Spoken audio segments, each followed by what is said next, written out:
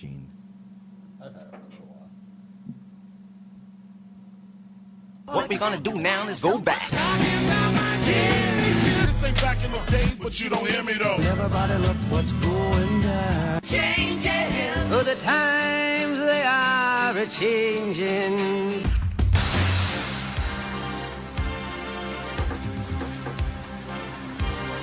Ladies and gentlemen, it's the return of the generation gap. You wanted it, you asked for it, you begged for it. Ladies and gentlemen, we are back, return. Here it is Aaron Matlock, Eric Naduchin, coming into some Prince because he's not with us since the last time we did a show. So we had to bring that up. A lot has certainly happened, and a lot has unfortunately stayed the same. That's gonna, I guess, going to be a kind of a common theme throughout this episode of the Generation Gap. But it does feel good to be back, Eric. It feels great to be back. I'll tell you what, man, I was chomping at the bit for these last, I don't know, how long's it been? Almost a year? Yeah, It's been too long. It's been too long. I've been chopping at the bit with no outlet. Just wondering when am I going to see my man Aaron Matlock, and we're going to get back into the uh, the depths of the studios here in the uh, Mexican AM station here, and or Spanish. Sorry, I didn't mean to. See, I'm already going over to PC line. I'm already messing up right in the intros, Aaron. Uh, PC is not part of the generation gap. We call it out when we see it or when we hear it. I thought you were kind of uh, paralleling Jesse the Body Ventura and uh, him being down in Mexico. We had to escape to Mexico because our last season edition ended with a bit of a cliffhanger. But we're back, everybody.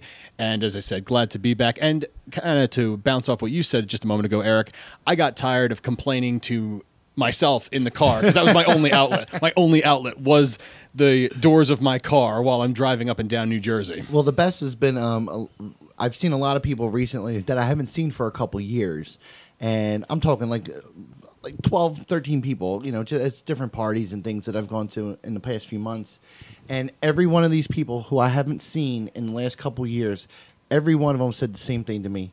What's up with the show? What's going on with the show? Where's the show? That's awesome. Which inspired me to then reach out, and then Yeah. made time to reach out and hang out today. And I'm I'm very glad that you did because I've been just kind of festering some thoughts in my mind, especially recently with everything going on in the world of politics. Still issues. How are we social not on issues. the air on, in a, on a election year? We have to be doing these shows, Aaron. it's, it's it's it's well overdue. I kind of feel like Jon Stewart. We left at the wrong time. Exactly. Yeah, you should have just signed a two-year contract, buddy, and then retired next year. yeah.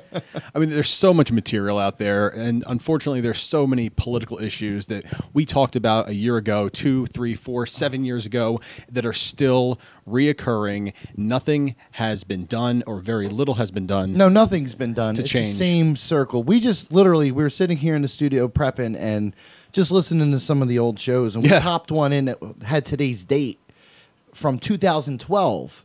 So I was like, oh, what were we talking about on today's date in 2012? Well, the first thing we said was basically, well, not much has changed. Everything's pretty much the same. Almost word for word the same opening. It was four years ago, people, and we're still talking about the same stuff. And it's funny, if you did get a chance to hear our last show, what, what was that station we were on in South Jersey? NJC. NJC. WNJC. Our last show in there, we did kind of little, a little comedy spoof as far as um, our last show on the air, where we, we pretended that the cops came in and we had gunshots go off and fire. And that's kind of how we ended our last show, not knowing when we would get back together to do another show. And Yeah, that's how we ended last year's show. Right. It was a, a satire of all the gun violence as a whole that's been going on throughout our country. And fast forward now to 2000, July of 2016, what has changed? It's it's outrageous. Obviously, what people are uh, trying to do isn't working. No. So, uh, just like the education system, just like the laws in this country, just like the way things are set up, it needs to be completely changed and thought about in a different way because the old way is obviously not working. The war on drugs 50 plus years isn't working. No. The war on gun violence out there isn't working. The way we're teaching police and they're interacting with the citizens that they're supposed to serve isn't working. Here we are in, again, 4 years ago, we were having a very similar conversation. In our last show, we mocked it and here we are two Yeah. more men were killed by police, and then during a peaceful protest, someone opened and opened fire and killed police. Well, a group of maniacs opened fire. Well, we're still getting details. Yeah, there's still suspects that are It's being questioned yeah, and everything you because know this is so this is so fresh. But don't worry, we're going to comment on it, even Yes. if we don't have all the details, because that's what the media does. Oh, I'm sorry. We're That's- that's not our us, media. Not, us, not us, not our media. But No. it's crazy that we're still talking about gun violence and and black people getting killed by the police, and now people returning fire on the police. And wow, I don't know where the people were. They obviously weren't listening to the show back in 2009 and 2008 Yeah. and 2010 and 2012 and uh, you know up and even until last summer because all this stuff that's going on now in our world is all stuff that we were leading towards, all stuff that we were talking about and warning to people and putting out the signs and saying, "Hey, this is the road we're on. This is going to happen." unless we change. And nobody listened, and nobody's obviously changed, Aaron. No, there has been very little as far. One thing we talked about many, many times on this show was de-escalation training for the police dealing with minority citizens in this country, and I don't think anything's been done as far as that's concerned. We have seen the kind of the growth of the Black Lives movement. There has been more social media talk about it, and unfortunately, it's it's very sad that this happened, but at least it, people saw the sheer brutality of what happened when this young man was shot in his car four times in front of his girlfriend and in front of a four-year-old child in Minneapolis. That's another thing. So the guy had his four year old kid in the back seat. This cop didn't think about the child's life. No. Or worried about opening fire in a vehicle with two other people that weren't quote unquote a suspect of anything. We're Not to mention the guy was just following what the guy told him to do in the first place. Exactly. Broken tail light, uh, according to the reports I've read, a minor trac- traffic infraction. And why is there the need? Why is there the, the just the paranoia on the part of law enforcement to reach for your gun automatically after establishing a conversation with this person, seeing there's a child in the car? I mean, the odds are that not much is going to happen apart from paying, you know, get, getting served a ticket and then moving on about your day, business as usual. The guy was a registered gun owner. Right. He had He a admitted license that. Mm-hmm. to carry. He told the cop what you're supposed to do when, when you're carrying Yes. and you get pulled over by the cops. You're supposed to tell them, I have a license to carry. I have a uh, firearm on me. Here's where it is on my body. Yeah. And then wait for the instructions from the cop on how to handle yourself. The instructions from the cop to this gentleman were, please show me your license. Yeah. Please show me your license to carry. He went to get that license to carry, and the guy shot him. yeah. And conveniently, the two guys in Baton Rouge that killed the other guy, conveniently, now they were wearing their body armor uh, cameras Yeah, and they had the like body that. cameras. Conveniently, neither one was conveniently recording at the time of the incident. And if it weren't for the woman who took the video from her vehicle and posted it a couple days later, um, we may have never known the true story of that. And just think about Yeah, all the absolutely. ones that we're not hearing about. Yeah. It's crazy. It's crazy. And what they got us going again right now, they got us fighting amongst each other. Sure. And they're trying to wedge that black versus white thing. They're saying the guy that shot up the cops in Dallas, not only was he out to get white people, but white cops. So now they throw that element of race, try and set off the race card, try but you got to mm-hmm. think about it. In that protest, first of all, CNN and Fox were showing all the protests in all the country, um, cities around the around the country. Yes. Okay, every one of them had one thing in common. It was multicultural, Yep. right? Black, white, gays, you know, Jewish people with their. You could tell because they were wearing the beanies. There was Muslims walking down with their beanies. Yeah. There was. What do you call the Muslim one? I don't want to disrespect. Don't know off the top of my head. All right. Well, there was people of different religions, there was people of different races, and they were all walking peacefully. And that's what's going to get lost in this guy opening fire and killing cops. You know, it's it's it's outrageous. And again, we're still talking about it. So if we're still talking about it, no action has been made and nothing that has been suggested has been implemented that has worked. So what is the next step? What do we do? How does this happen? Or do we just go down the old school of let them divide us by race? Because prior to this, prior to talking about cops, we were talking about Hillary Clinton being a lying bitch. We were talking about Donald Trump being a crazy man who may end up being our president. We were talking about, oh, I don't know, the rich and the top 1% and how we need to unite as a people to change the system. But no, not now.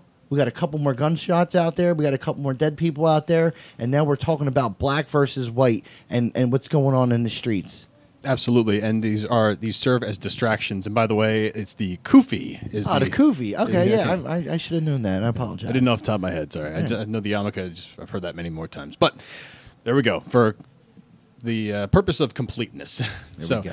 but no, distra- talking about distractions just now, getting distracted off the topic. But that's what we're doing right now in this country, as usual. When real issues start to get talked about, the breakdown of the top one percent redistributing wealth into this country coming up with a, a- a me- a medical system in this country that can actually work, and all these things that have primarily been talked about by the Sanders campaign, and a lot of this stuff is now being pushed aside and forgotten in our minds because we have the sensational media, uh, twenty four seven news networks that are going to be following this story to death. Pardon the pun, but it's good. That's what happens every single time something like this happens in our country, and unf- unfortunately, it's happening far, far too often.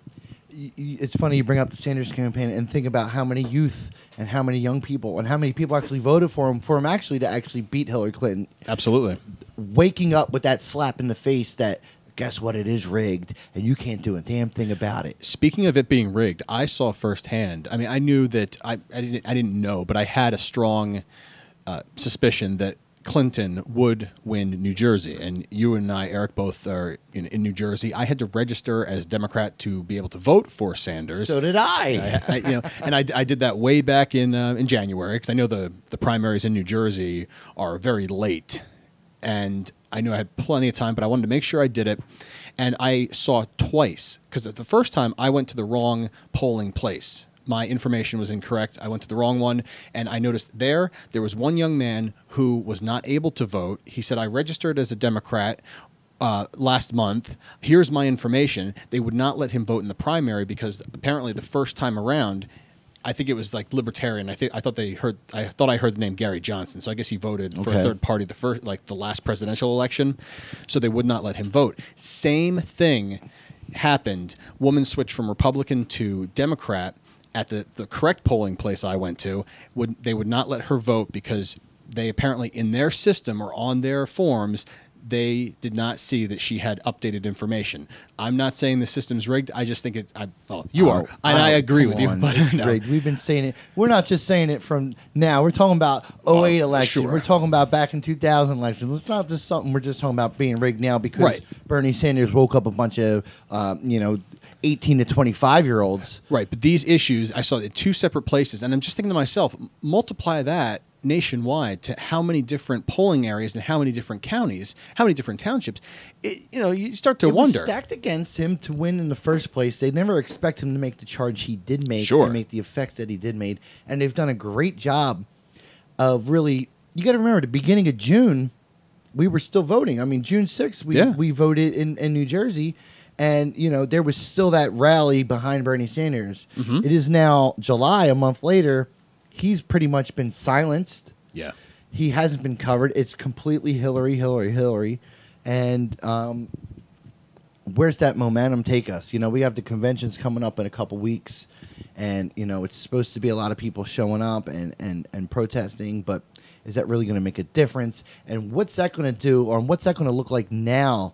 These protests that'll go down at the DNC and the RNC in the next couple weeks. What's that going to look like now after last night's incident of cops being shot? First of all, they're already walking around in full army military garb, you know, from head to toe with all their different equipment. And they talk about gun control. Look at these guns these guys are using or standing around with in the streets, you know, protecting us. You know, if if this is just the like the fire that was just outside the studio, is if this is just the spark that sets off the bigger fire, what's going to happen in the next couple weeks when these conventions, you know, get together? Oh, sure. And I am particularly concerned because both candidates we have, one on the Republican side is just inconsistent, also is, is a liar, and who has no idea what he's getting himself into. And then you like, I'm not, I wouldn't even say contrast, but then you kind of parallel that with the Democratic side. Another one who's been very dishonest, liar, um, someone who is, for lack of a better term, a war hawk. She's no, she's not shy of, of getting down and dirty. So, what is that going to say to our country? Or about our country when we move forward into 2017 and for the next four years.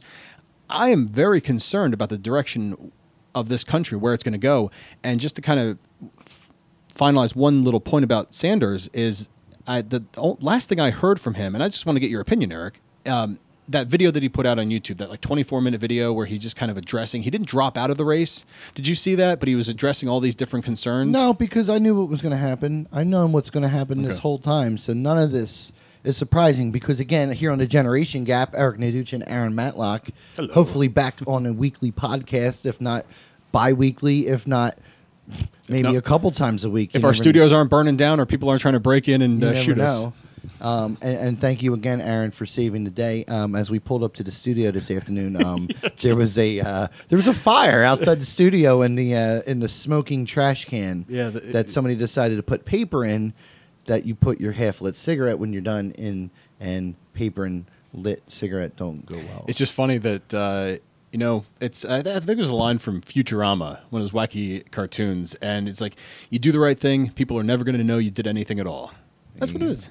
But so yeah, so I just thought it was a bit odd. Getting back to the uh, finishing up about the Sanders thing, I thought it was just very interesting that he put out this video. Uh, he addressed a lot of the concerns that his campaign has been trying to focus on throughout the course of seven plus months, and then, like you said, then silence, nothing else. A meeting with Hillary Clinton, a meeting with President Obama, Yep. and, and Shut nothing up, else. Yeah, Go back to your job, and we'll leave it at that.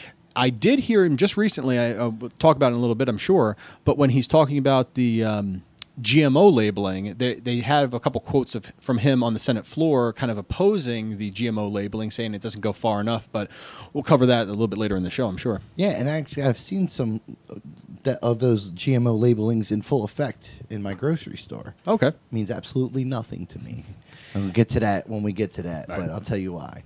Um, so, if, if if you've been paying attention, and, and if honestly, if we've been on the air, I don't know, was Trump a candidate the last time we did a show?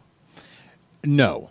No, it was had towards not, the end of the summer. that yeah, he had not officially entered. I believe we just heard from Ted Cruz at that point because he was like the first one to jump in on the See, Republican side. You say you're you're worried about where this country goes, wh- whether either one of these people get elected. And now I believe, well, I don't really care, but I believe that Trump has a chance, but he won't win.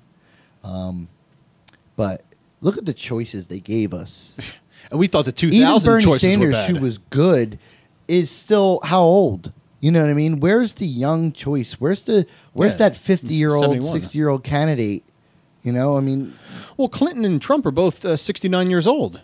Yeah. So, yeah, exactly. Well, Clinton's just been waiting her turn. Oh, yeah. and that's why it was set up from the beginning. How mm-hmm. can we get Hillary Clinton, first of all, who had this scandal, who literally just walked away? Oh, conveniently, my husband meets with the DA, and oh, you know, it's all good, and don't worry about it. They were getting off anyway. We all knew she was getting off. Fox News knew she was getting off the whole time.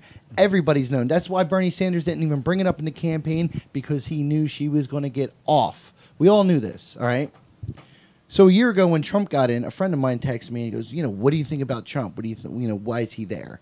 And I said, "Trump is a distraction. They will put Trump up against Hillary Clinton because people will say he's so outrageous that there's no way we can elect him as president."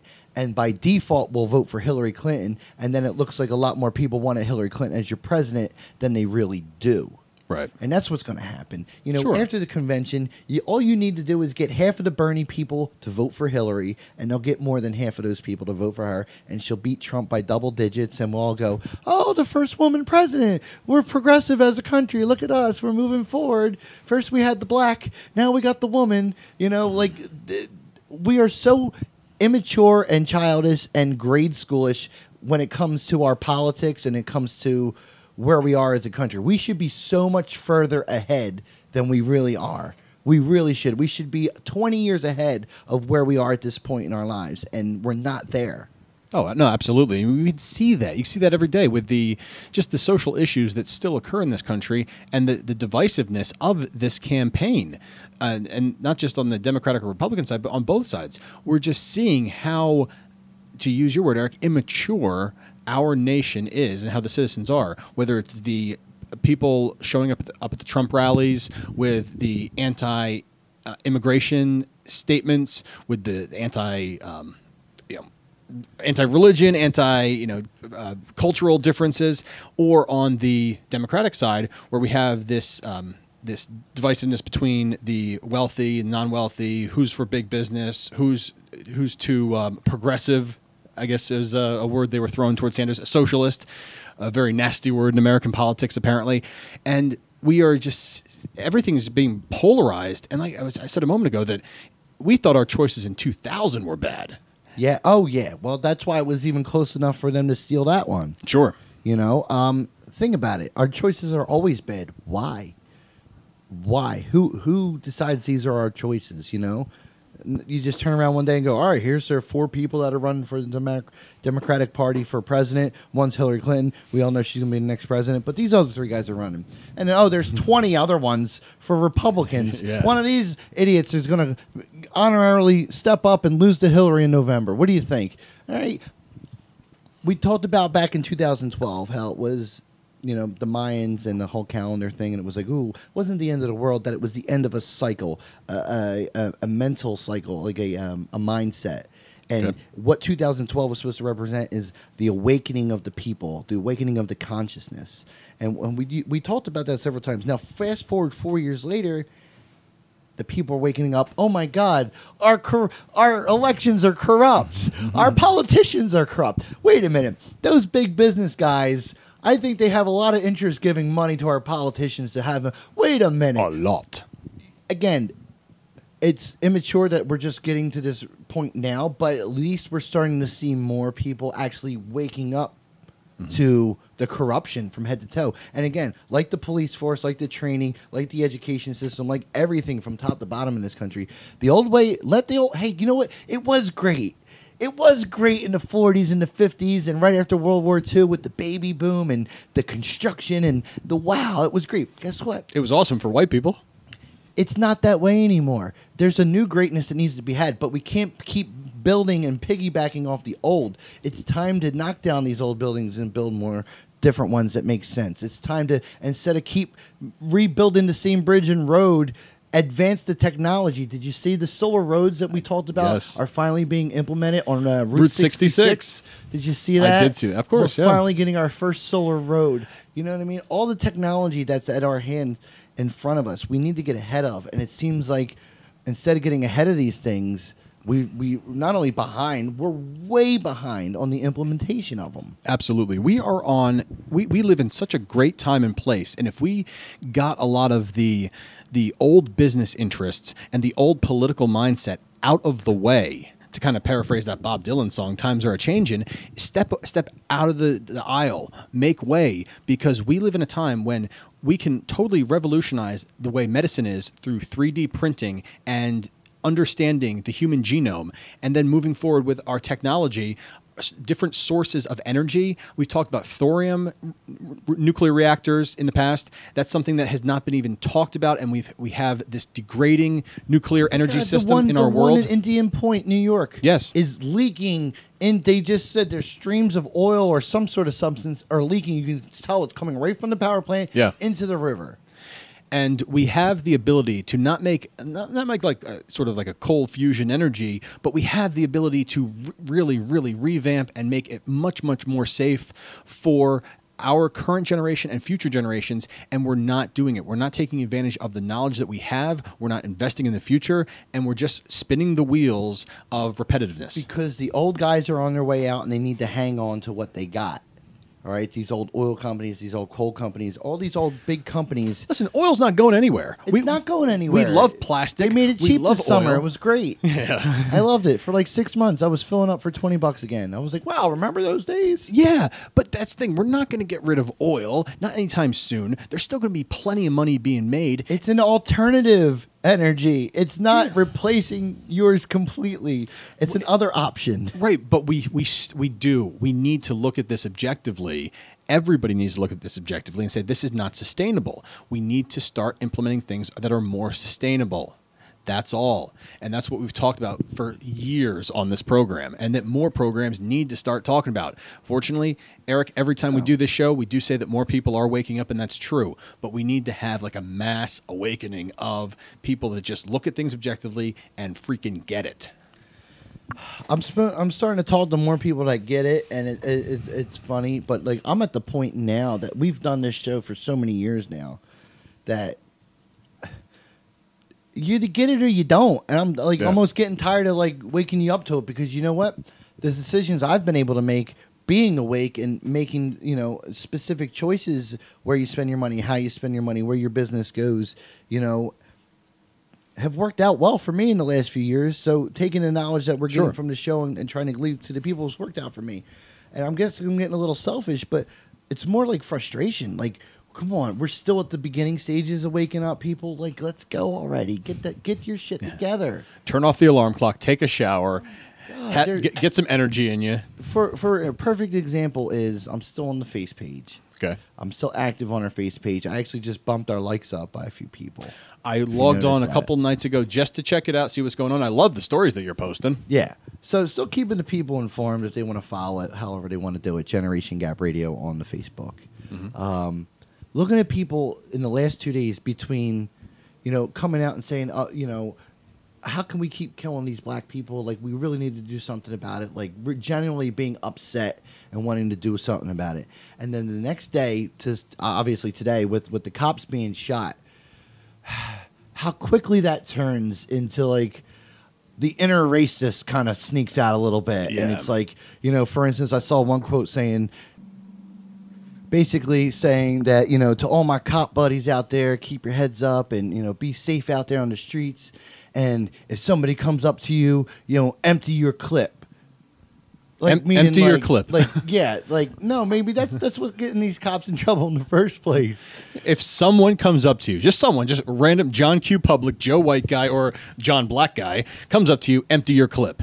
That's advice. Yeah, and I'm like, Not necessarily know, good like, advice. This is like, it's just answering violence with more violence. Yes, absolutely. Which isn't going to solve anything. And um, And that's what I'm I, I, I'm I'm worried about. I know there's more people are awakening are wake, waking up. There is an awakening, but it still worries me that there is such vast amounts of ignorance. oh, there's so many, there's so many cavemen still out there too with that mindset. not just in our country, but they vote. All, all around the world. And yes, they vote, and we see a lot of them at certain rallies. And it's unfortunate that there's still that ignorance. I mean, I'm I'm glad that I'm aware of it, but at the same time, I'm like, I want to be done with this We, BS. we see them at every rally. Every. All right, think about a rally. What is a rally? Why are we even rallying? You know, they go out there. They have these pre preset speeches. They try and hit that note where it gets everybody cheering and like America, yeah, and they get them all riled up. And like, you know why they still use rallies? Because that type of um, psychological like propaganda still works it does, yeah, absolutely. rallies. We're having rallies. Why don't you come and actually tell me something? You don't give him these rah rah speeches and these punchlines and these go get 'em lines. You're not doing anything. So the fact that the the cavemen people that aren't awake like that that. still you know here I got something for them too. I jumped the gun. That's all right. You know it's fine. All right, this is your theme song. This should be the theme song to everybody going to a rally. All right. It, it, it, it's absolutely the truth though because what are you accomplishing at a rally just to show support and then we'll you know if the if only half the people are there that we expected we'll only show the screen from a certain way so it looks like the place is packed Sure. all right so you're not even getting the rallies they still work to the public and to the voting people they Yeah. shouldn't but they do because you got these diehards that are for this particular candidate, for this particular movement, whatever it might be, and then that group mentality. If someone comes in there and they're kind of on the fence, they kind of want to experience what the rally's all about. There's a strong likelihood that that person's opinions are going to be swayed by going there. So yeah, absolutely, Eric, it's very effective. when did it also become that you have to be 100% on or 100% off. Oh, I think this has been for a long time. Because like you can't ever be like, oh, I like this guy's opinions here, there, and this, but I don't like him here, and and like just being oh, no, you're either with us or you're against us. You're either for Black Lives Matter or you're for Blue Lives Matter. Mm-hmm. Where it's like, why are you putting us against each And other? if anybody again? says all lives matter, they're going to get booed. Oh my God, that's such a thing now. All lives matter. You know, that shouldn't even. duh, duh, duh, duh. And then the Black Lives Matter people are saying that you can't say that that's racist. No, you're all just labeling, labeling, Yes. labeling, labeling, which keeps you off of talking about the subject, which is why we always try to avoid labels here on the Generation Gap. That's right. Because what does it do? It just puts us against each other because your shirt's blue and mine's green. And you know what? My green shirt's better. Isn't, wasn't that a Dr. Seuss book with stars on bellies and beaches? Yeah, eh, but no, it's it's absolutely the point. If you're not talking about an issue, having an intelligent com- uh, intelligent debate about an issue, And you can't have an intelligent debate on Facebook. no, you can't. Then you're not able to get beyond what is holding you or is keeping you apart, and you're not able to remedy whatever situation you're trying to talk about or debate. just like what's going on right now. So now all the yesterday all the news agencies were flooded with oh my these cops are killing all these black guys da, da, da, da, da." and now after last night's tragedy where cops getting killed it's like we got to shoot them all. They should all be shot. And, whoa, whoa, whoa. why does it have to be one extreme or the other? Why can't it be cops? You learn how to not shoot black people all the time and De-escalation. oh, de-escalation. There's a word for that. And then Obama gets on last night, uh, and he's, he's doing his Obama thing. Oh, yeah, he does the. Obama thing. yeah. I, you know, it, it's fun seeing Obama on his last six months before he's out because he's back to like cool slang, like chilling Obama. Right? Did you see him at Ever the since Hillary, that Larry did you see him at Wilmore the bit, you know, Hillary, he's- he's Hillary kinda Clinton chilled out. rally the other day. Obama was being cool Obama, but then yesterday he had to do a speech. Yeah. All right, and he got back to being President Obama, giving you know giving me the vice president, and he's like, you know, uh, uh, the last time I was up here, we said we don't need to be, we need to do something about this tragedy, and the time before that, we said the same thing, and the time before that, and he's going, we we need to start talking about America and how to change and this and that, you know, changes in America, and I lean to Lindsay, my wife, in case this is your first time, I lean over to my wife and I go man, it's a shame he's not in some sort of position to maybe make some sort of changes that could affect the country and how we operate and how things go. I mean, it's a shame that this man this man in a suit can't really do anything about it. talking to millions of people. Like, hello? Like, that's how you, again, another way you know presidency is just a puppet uh, position. But this man who's the president of the United States is trying to say, oh, if we could only change this or we could only. ch-" No, you could change. You're the president, dude. Like, what, Well- you- what have you done to try and change it? You're the president, Right. but you're going to come out and make another speech about how you've made all these speeches and hoping that this one's the last. Well, when you when uh, when What are they doing? Oh, okay, okay, but what about some of the changes that that this administration has tried to implement, but continues to get blocked by Congress just over BS political squabble? and there it goes back into the government not functioning the way it was set up to function. All right. Again, years ago when they changed the rules, that instead, basically, back in the Senate, I don't know, ten years ago was when they changed it. Twelve years ago, I forget. You used to just have to have the majority of the people voting to make something pass or not pass. Mm-hmm. They changed the rules, and now you have to have a minority. You have to have at least sixty votes. Right. You have to have at least 60 to get that to pass. Well, since they've made that rule, nothing gets passed anymore. It used to be you get the majority of the votes. So if I beat you 53 to uh, 47, guess what? We win. That passes. Now it's got to be, I got to get that 60. And that's how more politics and backdoor things and more corruption goes into nothing getting done. And that's why they go, well, it's been a stalemate in Congress for all these years. No, duh. Because you won't let these people, you changed the rules and you changed it so you can keep the rules the way you want them. The politicians are getting paid more than ever and they're doing less work than ever before. The only real work that they do in government is to raise more money for the party. Whether it's Democrat or Republican, they're raising more money for the party. That's where most of their time and effort is spent. It's in campaign fundraising and or, or, or party fundraising. And that's one of the huge problems with our political system here in this country. And it also indicates that we have a system it's it's more clear now than ever before that our system can be bought. And why can it be bought? Because if you don't have the the time, money, and energy like lobbying to get these elected officials to you know come to your side of uh, of the argument, then you're not going to get anything done in this country. And unless you have a huge lobbying group behind you, politicians are not going to listen to you. They're not going to listen to you anyway. They're going to say what they have to say. See, that's where Donald Trump is great because he says what he has to say to get you to like him. And then you forgot what he said a month ago that totally discredits what he just told you today.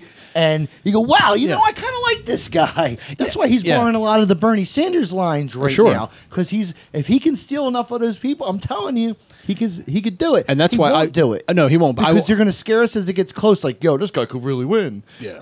I wanted to see that debate between, and people are saying, why would you want to see a debate between Sanders and Trump? I want to see that because I want to see how different and similar these candidates are on that stage. I want to hear the insanity that might ensue. I want to see that. I like debates, I really enjoy that. debates are great because although they kind of know what kind of questions they're getting, they Yeah. can't. And if you know how to read and watch a debate, you know, it's just like listening to anything these press secretaries come out and tell you. Sure. You got to learn how to listen and read between the lines. Wow. Exactly. At, I can't believe you ever listen to um, um, what is it, Janet Yellen right now, ahead of the Fed. Uh, do you ever listen to her come out and speak? Yeah. Oh my Yes. God, it's amazing. This lady uses the biggest, most outrageous words, does not answer your question. No. But you can hear what she's saying if you know what you're listening for. That's what he speaks, and so they come out, and that's what they say. But that's what's good about a debate Mm-hmm. when they can't answer it or need to answer it in a different way. You know how they actually stand on that question. Absolutely, and that's and that's part of the reason I'm glad you mentioned uh, Janet Yellen because it's amazing how she can walk around a question. Man, It- it is her masterful. Hillary Clinton must have went to the same school, brother. It, Because it, it were so good. It is masterful. I, I, I give her that, but but that, absolutely. And if you're not going to get out there and you're not going to talk about these issues, then we're not going to know where you stand on said issues. Whether whether you answer them or don't answer them, at least then we'll know the people who want to pay attention to what's going on in this country, they should be better informed. And how else are you going to do that without having a one-on-one or multiple person debate? The problem is they're misinformed because of their media outlets and, and the stuff they see on the internet that's not true that they should believe, and the stuff that they told isn't true but they should believe. And again, it all goes back to waking up and, and taking it for what it is. And you know, all these college kids that were behind Bernie, guess what? I guarantee you they're going to end up voting for Hillary. Or even if they don't, she's going to win. I mean, it's in the bag. All right. But they're going to go, well, wait a minute. I thought all my college debt was going to get paid off. Because, first of all, and that's what Lindsay kept bringing up. She goes, they keep talking about all this college debt for these kids. What about the people that have already graduated and have been in the world five, ten years that are saddled with hundred thousand dollar Oh, plus sure. debt? What are they doing about us? They weren't talking. Neither Bernie Sanders wasn't talking about you either. No. They were talking about current college kids. They're talking about future college kids. Yes. And by the time it would get implemented, it would be. It might be your kid by the time the, it would get implemented for the you know either free college or you know helping out with the tuition and stuff like that. Yeah, that So- message was focused on the like the millennial and beyond generations. yeah, it wasn't focused on the uh, you know 31 and 32, 35 year olds out there with no real jobs, with no real way to make a living because you got to put out a thousand dollars a month in student loans for the rest of your life. Yeah, and one one other thing I was very disappointed about they did not talk about.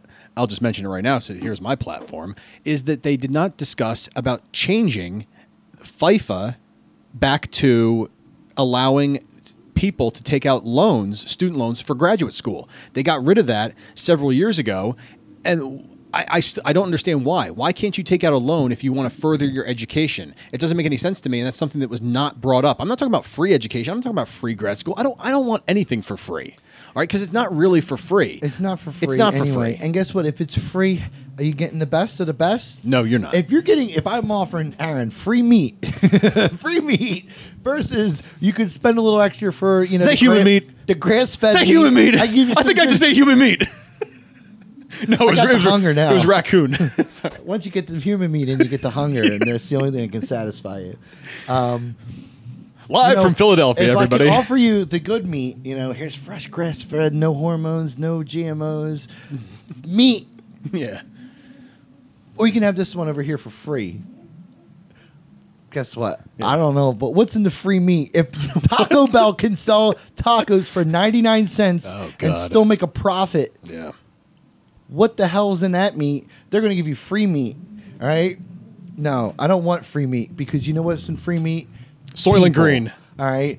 Why do I free education? No, because what are you going to do? What do we get? Look at our public schools now It's free education. Absolutely. it's terrible. What are they teaching you? They're just indoctrinating you into just live in the system and and just be a part of the wheel that spins this uh, corporate greed that runs the world.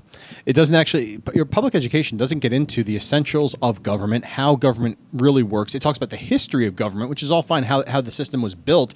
That's okay to learn learn where things started, to understand where we are. But uh, our, our, our higher education, like the high school level, does not get into the fundamentals of our current system, nor does it talk about our banking system, our economic system, nothing, nothing that's really Exactly. of use. Nothing that teach me how to do bills, how to balance, No. a, how how to balance a checkbook, how to if I'm in debt, how to get out of it. You know what I mean? They don't want you. They just want to do. It's just an assembly line is Yes. what public education is, and even what uh, colleges have become. Uh, many of them are just that assembly line to pump you out, filled with already all this debt that you'll never be able to pay back, into a world where you just have to work because they're telling you. You got to pay all this debt back. it's a business. College, you know, uh, higher education, college, graduate school level, it's a business. And at the, first and foremost, they need money to keep that business going. And it was just, it, was never more apparent to me than when I graduated uh, back in 2006 and the president of the university came out and basically, and no, I didn't say basically, he actually said, when you go out into the world, make sure to send money and donations back to your university. And he was just doing this huge, it was this 30 minute sales pitch on how alumni should send, like, basically tithe if you're of the religious and, and you know about tithing and 10% and all that stuff. It's basically sending money back to the school to be grateful that you got this education. And it was just utter BS. And I was, I was, I was just sick listening to this. And that's what it's Sick- like. sitting there in debt, not even out yet. dude. I was barely in debt because, unlike some of my classmates and colleagues, I worked a full time job. I was debt free one year after graduating from job, the man. university because I did the, I did the two year route. I did the you know the, the county college. I did two years. It was a fraction of the price. When I transferred everything over to the university, I was able to keep it you know in check, worked, and I paid that shit off. This goes back to, But not everybody can do that. this goes, but this, this is a good subject. But a lot of people can and should. right? I'm not saying Lindsay shouldn't pay back her student loan at all. She Oh, yeah. borrowed it. She of course. it. Yeah. The fact is, she only borrowed around sixty thousand dollars. But then you start adding, oh, we're going to start charging you interest and deferments, and Yeah. now it's one hundred and fifty thousand. I don't think it's that. It's like one hundred and thirty thousand dollars. But still, to go from It's 60 to what 130, owed. that's asinine. and you want you to pay thousand dollars a month if it was more reasonable, like three hundred bucks a month. Yeah. Hey, you, I got no problem paying that three hundred bucks, whatever. You know, however long it takes, but whatever. Thousand dollars a month. You know how much you can do with a thousand dollars? Do a lot. You know how much you can still do with a thousand dollars? Um, It's it's absolutely outrageous. But this goes back to this incorporates everything. This goes back to we have to change the entire system. The world is changing around us. You brought up 3D printing, which hasn't even begun to kick the world's ass and how amazing 3D Yeah. printing is, how it's already being implemented, and how it's changing the future. We have robots being implemented in the next 10 to 15 years for the m- nonsense jobs that can be handled by robots, manufacturing stuff. Um, a lot of the uh, farming and stuff is going robotic. Uh, a lot of the fast food jobs robotic. The stupid stuff that very uneducated people can still do for a living. Those jobs are going away. Yeah. We have to refocus on what work is and what money is. Because what you're going to have to do, you're going to have a nation in 30 years of people in their 60s down to their 40s, 40 to 60 years old, that are going to be dumb and not smart enough to work in an environment that can create some kind of pay. So we have to look at how are we going to feed these people? How are these people going to get by? And if we really start to move towards I don't want to say away from capitalism, but like start looking in more of a communal way of like there's going to be a certain part of the population that we already take care of now through welfare. There's going to be a certain part of the Yeah. population that can't work, that shouldn't work, that won't be able to do it, but they have to feed themselves, clothe themselves, shelter themselves, and there's got to be a structure set up to make that happen. You implement the road things, you implement these vertical gardens and, and local gardening through, you know, all these different things that are starting to happen now. We can't see it now because it's happening now. But we're going to look back, and this is when it's all changing. We've talked about the kid who made the uh, the boat thing that goes around the oceans, cleans up all the plastic. Oh, yeah, yeah, the big, that's like, already implemented. They- that's the Yeah. first ones in the ocean already. Mm-hmm. They're building twenty more. There's another kid's got the same sort of invention. They just saw how we can take plastics and make energy out of them.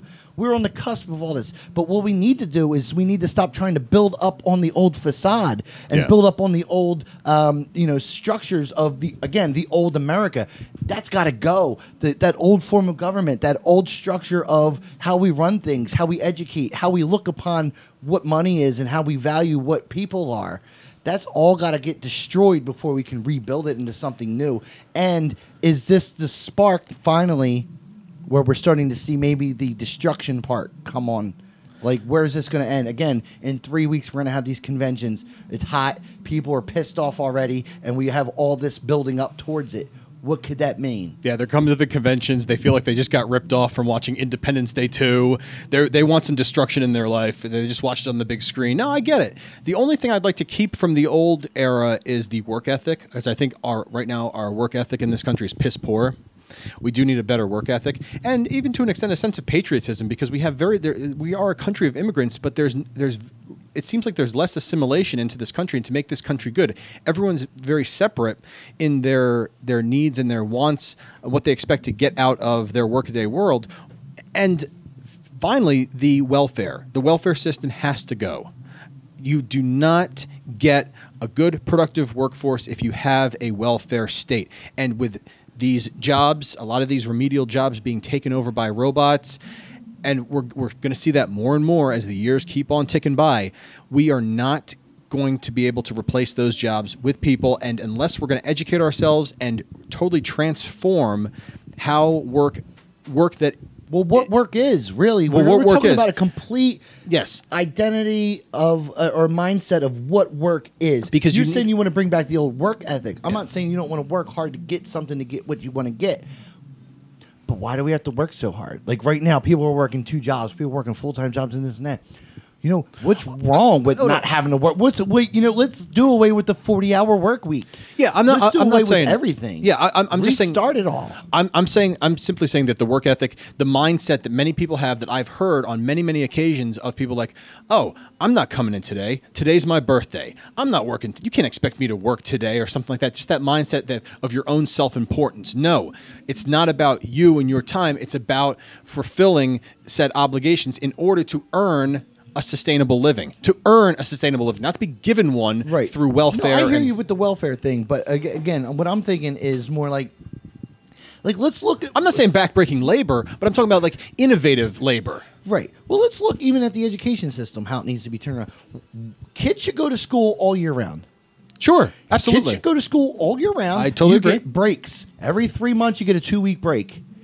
During the summer, you get two week breaks. You know that that holiday week. I right love holiday Christmas- month. July should be holiday month. Why Whatever. You know, but you know what I mean. Yeah, Give 'em- absolutely. Give them, off July. But you know what? But also, but let's schedule. Let's schedule school and what we're teaching around the seasons. Like when it's springtime and when it's summertime and we're going to school, we're doing outdoor activities. We're teaching you how to farm. We're teaching you how to raise this. We're teaching you how to do this. We're teaching you stuff outside. In the wintertime, let's focus in on our math and our science and stuff because we're crammed inside anyway. That's the best time to be reading books. But don't tell me you want to be teaching these kids math in the dog days of summer. No. Because nobody wants to learn in the dog days of summer because you're supposed to be outside. Take them to a lake. Teach them how to swim. You know, teach all different sorts of things. If you do school on a year round basis, again, with a couple weeks off every couple months, you know, in the summertime, maybe give them a month, but three weeks, because then think about it. It also extend the day because it helps parents who are have to work till nine to five. Absolutely. How how am I supposed to work till five o'clock when my kid gets done with school at three? Mm-hmm. You know what I mean that that's a whole issue, and then we worry about childcare and all this stuff in this country. I mean, I'm thinking on a grand, giant scale. Like we have to rethink everything because the future is happening in front of us, and the robotics and everything that's happening and all the changes. They're just going to change. So many people will be out of work. It won't just be the remedial jobs. It'll be truck drivers if there's driverless trucks. You know, it, Sure. How many people are employed that have successfully raised families through decades of driving trucks? Mm-hmm. That job could be gone in 15, 20 years. Actually, the yeah. chances are very high it will be gone. Absolutely. So we have to start rethinking about this stuff now to start the implementation so when it happens, we don't have more than half the country out of work with no way to pay them, no way that the welfare that they're getting is even enough for our government to support, but for them to even live off. Yeah. So we have all these problems about to happen. 3D printing could change the world. It's going to change the world. All these other implementations, they're here. They're changing the world. Some of these haven't haven't even been invented yet. They're all going to change the world. It's going to happen in our lifetime. It's going to happen soon. But right now, today, 2016, we're fighting about stuff that we were fighting in the 50s and the 60s. Hmm. We're still fighting about, you know, the drug war obviously it hasn't worked. Let's look at the countries that have legalized all drugs. Drug use has dropped. High cri- high violent crimes have dropped because the people that seek heroin are going to find it. They how do we have all these heroin addicts in America? Oh, is it that because heroin's illegal? Is it that hard to find? They obviously find it. So No, people that want to do people- heroin will people find love- heroin. It's because people love opiates, and doctors are writing opiate prescriptions left and right. people that want to find marijuana will find marijuana. Sure. People that want to find cocaine will find cocaine, although it's illegal. That's not going to change if you just legalized all this stuff. Mm-hmm. The same people will be able to get it. They won't have to get into dangerous situations to get what their fix is.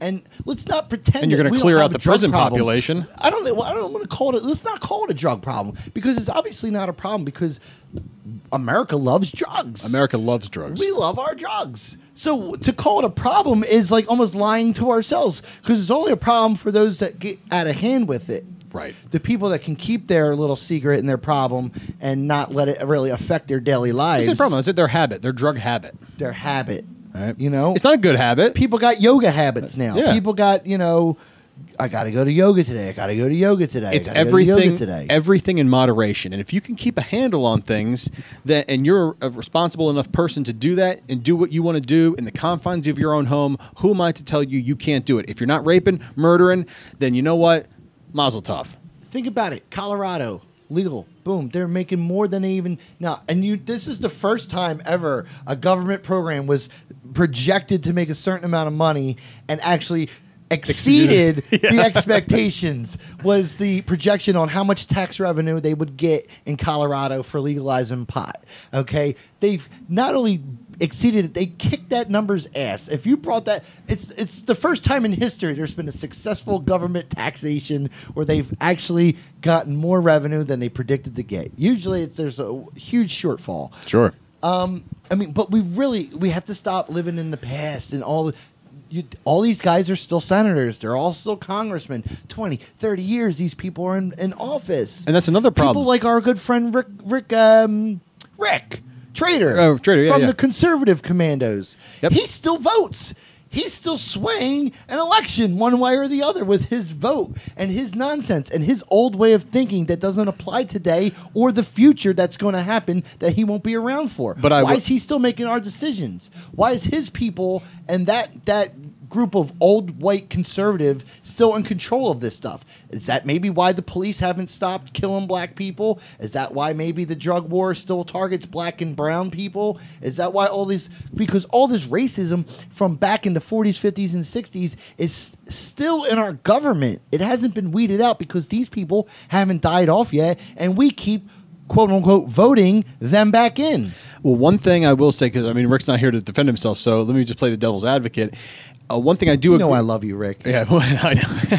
One thing I do agree with him on, and he's mentioned on that on his show several times, is term limits, and I am all for that. Term limits for elected everybody. officials. If we have them for presidents and we have them for governors, why do we not have them for the representatives and for the senates Eight year terms. and even j- the judiciary? Eight Why year terms for everybody. Exactly. I am absolutely fine with that. No problems. We'll pick a number, whatever number. You want to Yeah. do 12? We'll do 12. All right, 12's fine, but It's I, I 12 wouldn't exceed 12. No, you shouldn't be able to No more than stay three in terms. Congress or Senate longer than the president, two-term presidents. Uh, yeah. So if a president's going to be Two-term there for eight governors. two-term governors, That's it. two terms. You don't want to stagger how they're elected, so you can overlap. You know, if, there- if it was you know your party's president versus another party's president, whatever. However you want to do it, but there has to be term. The problem is the people that will vote for term limits are voting themselves out of jobs and millions and millions of dollars. Right. And That that's still won't do away with the corruption No. when the Supreme Court allows a decision like, oh, corporations are people too, and they can give as much as they want. yeah. That's our that's the courts, the highest courts in the land that are doing the bidding of Monsanto and other giant corporations out there. You know what I mean? Like it's outrageous. Like we're still fighting about, you know, black cops, white cops killing white people, black people, like the killing, the violence, the separation, Aaron, and that's what they want us. And that's why we're not progressing as a country. That's why our choices are Hillary and Donald Trump. that's why nothing's going to change. Because the old is still there, the new is ready knocking down the door, and we're not allowing it to implement. A lot of this alternative energy, I thought in the 90s growing up, when I was just, you know, a kid and a teenager, that this was, they were talking about alternative energies. That should have been implemented um, by now. Oh, absolutely. We were talking about using uh, basically using trash and recyclables for for energy. We're talking about solar panels. All right, and solar panels were back in the 70s. Why are we such on a remedial scale? Still, we're being held back because of the few that are making so much money of the system the way it is, the way it's set up. Just like the banks, we had to go bail out the banks instead of letting those banks go away. New banks would have came and take took their place, and we would have been fine. Instead, we had to rebuild on the old foundation of those banks and give them the American people's money. You know, Brexit, good for them last week, pulling out of the EU. And everybody was, oh, the stock market's going to crash. Good. I hope the stock market does crash. I hope you lose all your damn money. And I hope the people that have all their 401ks invested in something that they don't know nothing about wake the hell up when their money is gone when the stock market crashes too. Now, this is all stuff we've talked about for the last, I don't know, six, seven, eight years on the generation gap Yes. Eight. and it's all being implemented in front of our eyes. It's all, I'm not shocked at any of it, no. but it, it just it's it's it's bothersome that again we're so remedial in the change part of it. Why should it take so long to implement? Why should it take? I mean, we're rebuilding bridges and roads right now. Why isn't it? Why are we still building it on the technology from the 40s and 50s? Why aren't we implementing? We have one road, Aaron. One road they gave us. a, a- a fraction of a road on Route 66. A part of a road, Yes. Route 66. It- it's like 10 feet, but you know, it's still part of the road. All right. First solar road. It converts like, you know, 0.00000 megawatt hours, but it's still part of the road. I mean, I, I I understand it's tough to understand or it's tough to try and make decisions now on a future that we can't really see how it's going to go. We don't know how these.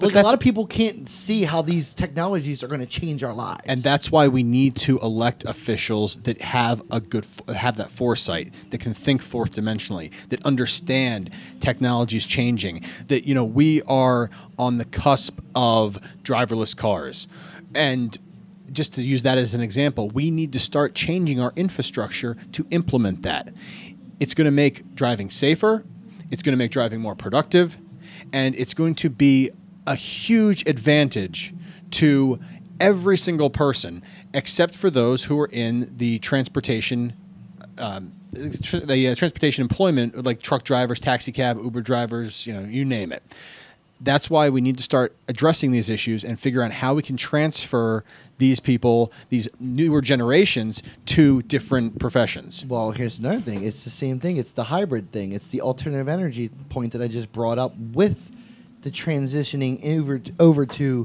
driverless vehicles and stuff like that. It's not going to happen overnight. No, of course It'll not. gradually get implemented into the system. And guess what? You're always going to have your people that want to drive their car.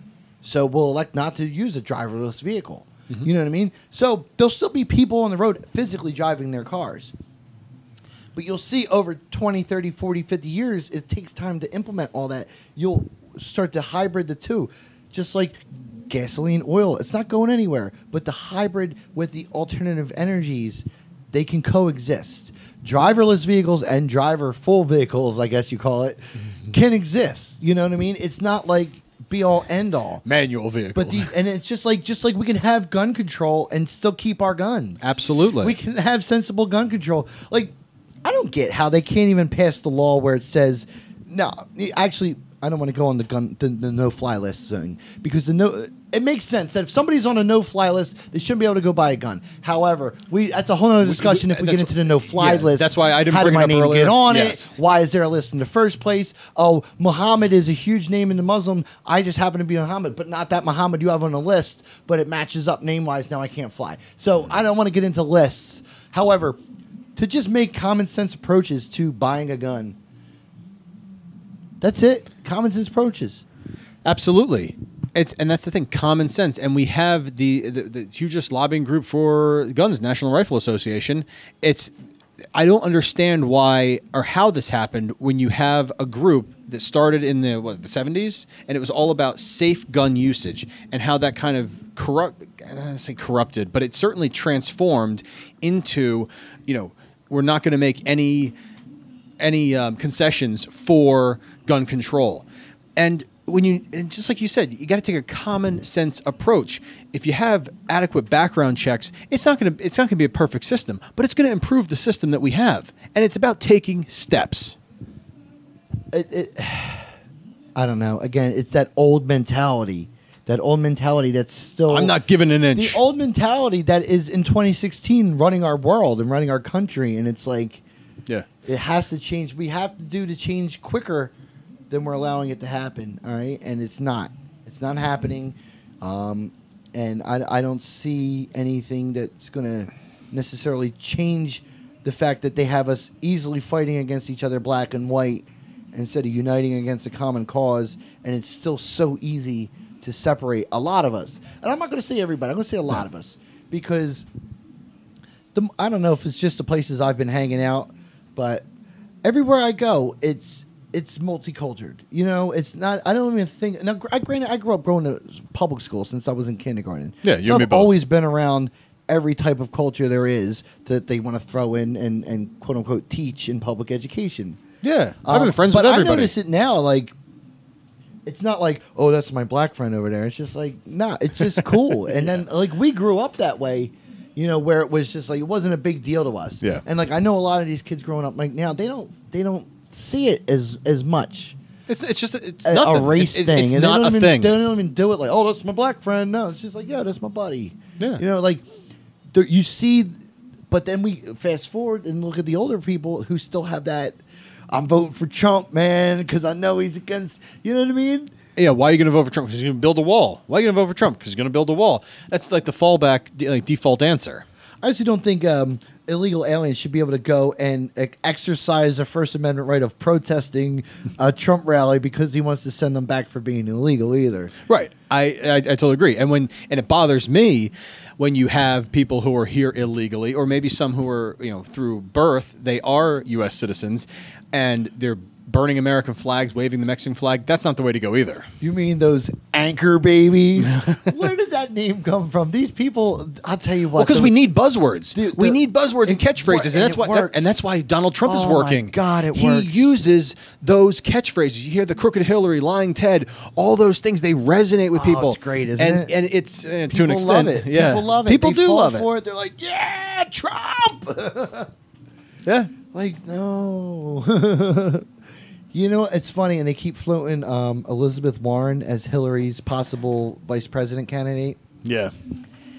why would you have uh, you know Elizabeth Warren she's trumpeted for being you know against this, the status quo and you know we'll vote this way vote a certain way well what's the best thing we can do to get rid of her vote oh let's make her vice president shut her up Sure. Hillary wins. Now we don't have to worry about Elizabeth Warren's vote to sway the people on whether it be GMO labeling or gun control or anything else that goes against the status quo that the big people are still trying to keep in.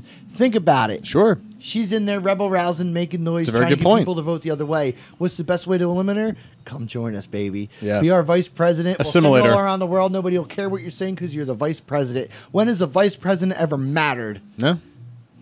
With the Well- exception of uh, Lyndon Johnson, you know. There you go. After Kennedy, All right. Well, nobody's going to shoot Hillary because they've been just patiently keeping her on the bench for the last eight years. Don't worry, hon. You just don't die on us. We'll get you your turn in 2016. It's been set up from the beginning, and here it is. Sure. Here it is. She was the dead set winner for, and then Obama came out of nowhere, and it was perfect because they needed to unite the country because everybody was pissed off about Bush for the last eight years. Yeah, yeah. and I, don't think Hillary quotes, Hillary really wouldn't have quelled the masses at that point. A woman president at that point really wouldn't have quelled the masses. Where you I- got a I young black president, like, oh man, It, it was it was the feel good story of the year, and then you began to see a year and a half, two years in, that we became a more divided country than and we have in recent decades. think about it. Obama's, uh, you know, the quote unquote black president. And come on, you guys listen to the show. You know where I'm going with this. I'm not being an asshole. All right, quote unquote the black president. You know, he's he's the guy.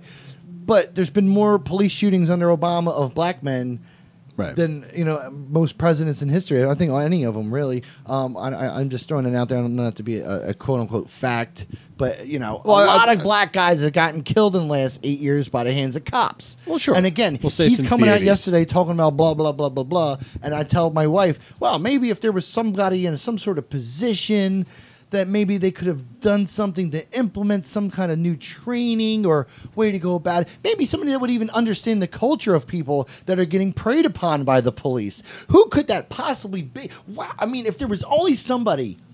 There was only somebody. Meanwhile, he's got six months left. This is the time to pass stuff like that. Absolutely. This is the stuff to get in because you're not worried about reelection. You're not worried about what the people are going to say. You got to do what's right.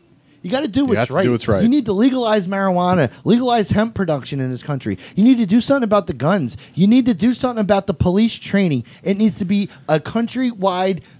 This is a basic training for every police department from Mayberry to Minneapolis to freaking LA. All of them need to have this some sort of, you know, whatever training. You know, I'm not the guy to come up with that. I'm just bringing it up. There's got to be some sort of implementation that happens all across the country. Let's rethink how our communities are shaped, how we act, how we want to be treated. Do you want to come? Do you want to sit on the corner in your neighborhood and have any cop, black, white, or anything, come up and harass you and bother you when you're Yeah. just sitting on the stoop hanging out? Absolutely. Here's an idea, just right off the cuff. Why not get the police chiefs of the most dangerous cities in America, have a sit down with the president and the attorney general, and figure out just lock the doors and take two, three, four days and just figure out how we can make at least get feedback, at least start the dialogue of how we can make this better, how we can de-escalate situations that are traffic infractions, how we can just business as usual. How about End when the of guy day. actually complies? No, like, oh my God, the list of names he read off last night. Of We have to people take out the last fear couple and years. paranoia, yeah. It's like 10, 12, 13, 14. They just keep going name after name. Oh, remember this guy got shot by the cop? Oh, yeah, remember this guy that got shot by the cop? Oh, yeah, remember this guy that got shot? And it's like, some of them were fleeing, some of them were fighting back, some were resisting, some of them just got plain shot. Yeah. The one thing they all had in common, not one of these grand juries has convicted any of these police in any of these cities across the country for killing any of these black guys that they killed. or girls because the we, we did the story. uh, This was this was last year. Oh, the lady that got pulled In put Texas, in jail and yeah. then she mysteriously died. She died. mysteriously died in jail. Yeah. Yeah, they, um, and guess what? You know, we got cameras in the jail. They weren't working that night. I don't know why, but unfortunately, we don't have tape from that one either. Let's enforce those directives that we have on the books or statutes, whatever you are in whatever state you live in. But it, you know, every police barracks, every prison, we have the camera technology is so cheap now, and the cost of digital storage essentially is nothing. All right, this should be something that this. I'm not a fan of the executive orders. We've complained about those many times on the on the uh, show in the past. Well, but- apparently they work. But this is something that could work. It's just an idea. Executive order monitoring. If you're not, if you're not, if your cameras aren't on under these checks, like you have weekly checks, monthly checks, random checks to make sure that hey, all this data is here. If it's not, you lose your funding. You don't get your toys. You don't get your tank. You don't get your SWAT gear. All right. Just an idea. They already got their tanks. They already got their SWAT gear. All that came after 9-11 with the damn Homeland Security and giving all these monies. And all we did Right. was set the country up So now, when incidents happen like this, the police can respond in full blown armored and military style gear. That's the message that the government and the police are sending to the people. Don't worry, And we're the com- media. We're coming to help, but we're coming in full riot gear with gas masks, and we're going to look scary, and we're going to be lined up and in unison. And guess what? That doesn't sound like somebody to protect and serve. That doesn't sound like somebody that works for the people. That doesn't sound like public servants. That sounds like an army saying you're either going to do it our way or we're going to shut you down. And you get shot when complying. Shot when complying, complying while black. It's now a. Uh, It's now trending as a um, That's worse than contempt of cop. Jesus. It, it's outrageous, you know. And and again, here we are. We just played this earlier in the show.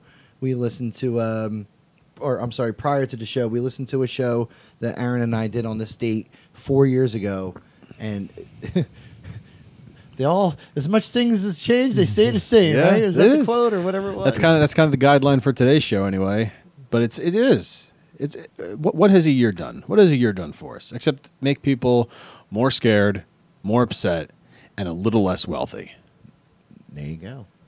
All right, the generation gap. Eric Nadushin, Aaron Matlock, right here with you, back again for. I'm just going to say this is season nine of the generation gap. It sounds about right. 2007. Yeah, so season nine. it- yeah. Wow. Look at that. Here we go. With bits and breaks and all kinds of stuff in between. It doesn't matter because we have the wonderful world of on-demand audio. Yeah, things have certainly changed since we started the show years back. Were any of those old shows on cassette tape? No, no, no, no. certainly reel to CD. reel, no, no cassette. Although our demos were on cassette, I think. Okay. I don't know, but The old uh, School of Broadcasting cassette tapes, yep. popping them in there, yeah. And uh, I think some of our, our even our shows last year on WNJC uh, ended up uh, being recorded on cassette tape just as a backup because you never knew when the equipment would be faulty. I loved I loved our contest that we did on that station, and, and for those of you who didn't hear our our our 1360 era uh, last year, Our brief three months. Yeah. We did a summer. We, did, did a the summer, It was yeah. fun. I'm glad we did it. yeah, me too. I don't remember the contest. I loved our contest.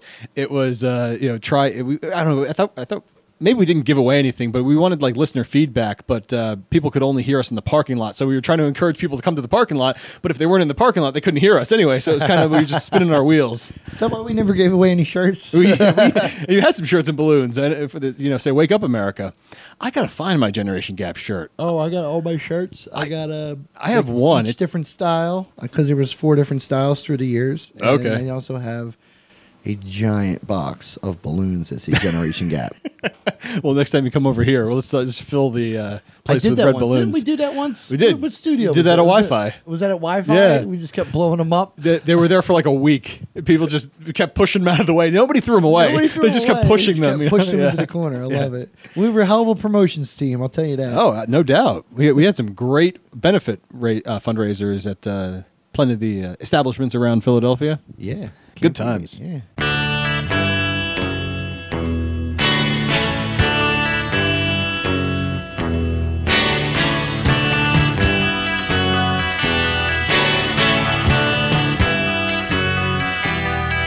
Everything turn, turn, turn.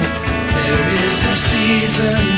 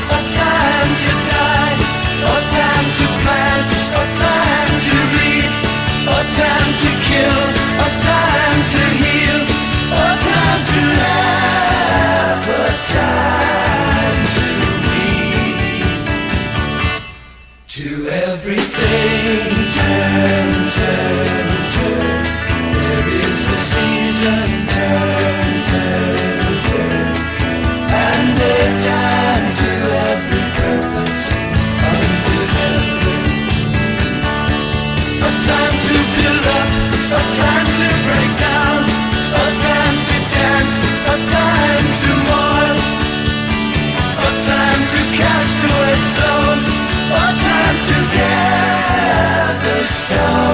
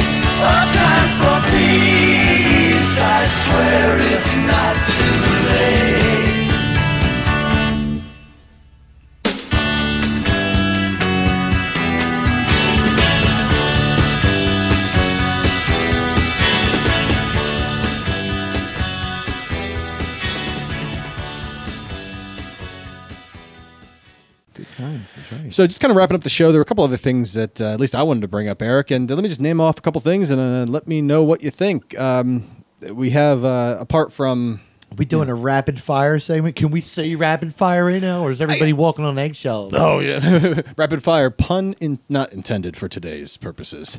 Uh, no, I mean so many of our, our bits have been taken from other radio shows. Some of our bits. Are you kidding? The majority of If them. you listen to any kind of talk radio today, whether it's sports talk or anything, there is a segment or two that they have. They've obviously stolen from us because we were doing them for years, Yeah. thinking nobody was listening, and then every stuff, everything we were doing was cutting edge apparently because they're all copying it today. yeah, and it's, it's funny too because a lot of these stations we did apply for work at at one point or another. Seriously. so the demos are floating around corporate offices, or Somebody's at least at one the point tape, they were. Yeah. and they're like, you know what? Oh, this is a good segment. We should do like a rapid fire thing. Why do we have to pay these guys? We can do it should ourselves." some sort of not news segment where they talk about stories from Florida. yeah, yeah.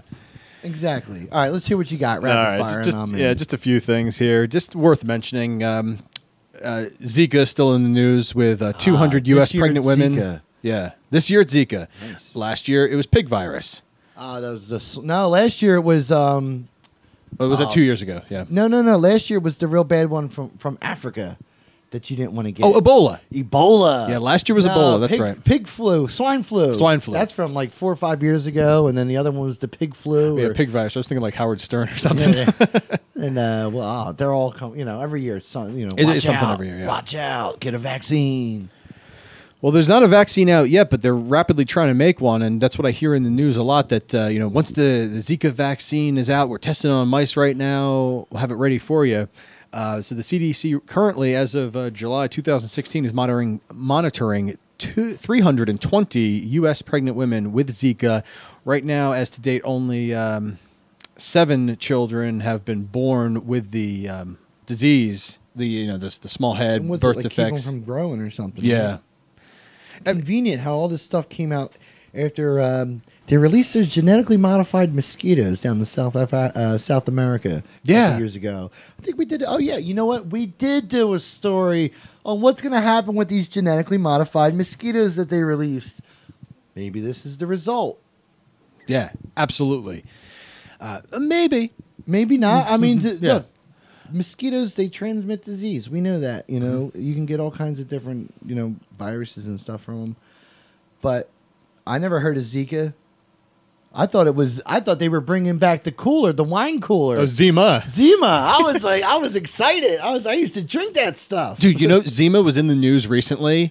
I'm, I'm serious because because back a couple of years ago they put out a face page petition. I saw that to bring back To bring it Zima. back. I signed it. Did you? I did. It was like it was like they needed 800 signatures and they only got like 58. Yeah, I was one So of you were- Well, you- I don't were- know about that. I'm on their face. They have a Facebook page though, and it's like, I, I liked it. All right, maybe that maybe that was it. I I don't know, but ah, bring back Zima. oh my oh I was, I was not a fan. I've replaced it with Twisted Tea. okay, So that's my.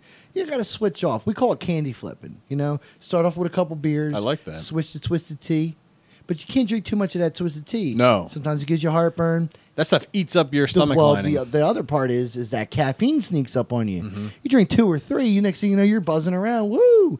So we flip. We flip from the twisted tea, have a couple. Flip mm. back to the Corona, have a couple. Flip back again, and you know at your at your you know you want to go two in a row, three in a row. Yeah. F- you know whatever your palate tells you, and we call it candy flipping. I like that. It's a lifestyle choice. Tell your friends. There you go. And and I like it because at the basics, it's moderation. and it's not going to get you sick. You're not Okay. doing shots. You're not the same amount of alcohol. It's not like it's carbonated. It's not going to throw you off or anything like that. So I love it. This is sound advice. I'm a sound guy. All because of Zima and Zika. no, so it's just something that you know has been. should been. I be worried? I mean, should I be worried about Zika, Aaron? Come on, tell the truth. Are you worried about it? no, I'm not. We have no chance of uh, being pregnant. We're not going to. Um, you know, I, I shouldn't even say we're go- not going to Latin America, where it's more prevalent down there, but it is coming up here with 320 cases.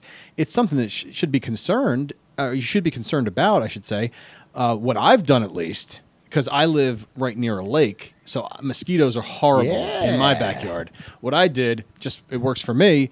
I put up uh, bat boxes because bats eat like thousands of mosquitoes Oh, every very single cool. night, and I have noticed a reduction. Really? So, yeah. So so there's Bat Box and there's Batman. Yes, Nice. and Batman is hotboxing in the bat house. okay. Cool. Cool. Very cool. Yeah. Use nature to Yeah. defeat nature. That's all. And the bats Or migrate. we could spray them with these chemicals. Ah! well, that's the thing, and that, that kind of leads me Let's into kill them with chemicals. They'll end up in the water. Well, kill that- our fish. Yeah, that kind of leads me drink to my next story because I, I go to one of the big box stores and I just see aisles. Is that where you got your bat box? At the big no, box? no, I built I built it. Oh, you built the big box bat box. I built I built the bat box. It's Is like the a- bat box big? uh, maybe it's by if you got the bat box at me the big see. box store, you think the bat box would be bigger? Oh, definitely. It sure certainly have more chambers because everything's bigger. it's a two chamber bat house. I'm trying to think in my mind. I, th- I believe it's like um, 18 or 20 by. Are you 14. harvesting guano? I am not. No, no. I- I'm I'm letting it lay, man. Spanish poop for everybody out there. That's right. Bat droppings. Bat poop. Ace Ventura too. so no, I know it. But uh, no, no, it, it, I have seen a sharp reduction in the mosquitoes. There's some great, I mean, just anything. If you need to know how to do something, chances are some kind soul or a group of, of good people put together a tutorial on YouTube. I think it's a fabulous resource. It taught me how to build one, and it was I, simple. I know how to tie a knot on my tie now. For There's- years now. H- how many different knots do you know now? I just know the one. I've never had to tie another. I don't. I sometimes do the fancy knots just because they're there on YouTube. I want to learn how to do I them. Why do not? a Windsor knot. Yeah. I tied an Eldredge today. Um, but that kind of leads me into my next story I wanted to bring up with mosquito repellents. I see aisles at the big box store of just all these citronella candles, sprays, DEET. Yeah. And I'm thinking to myself, self, I have a four year old son. I don't want him to get bitten up by mosquitoes. And if one of these mosquitoes did have Zika at later summer, you know, with the mosquitoes migrating and everything, and obviously our climate getting a little bit warmer, summer lasting longer, then this is a possibility. It might not be a likely possibility, but it's a possibility. So I'm going to think about this as a parent. Well, do I spray my son when we're out having fun at some nature area? Direct spray. Yeah.